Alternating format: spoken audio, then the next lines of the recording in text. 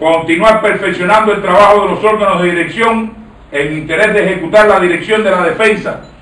durante el paso de la provincia de estado de guerra y el enfrentamiento a la insurgencia armada en un escenario de guerra no convencional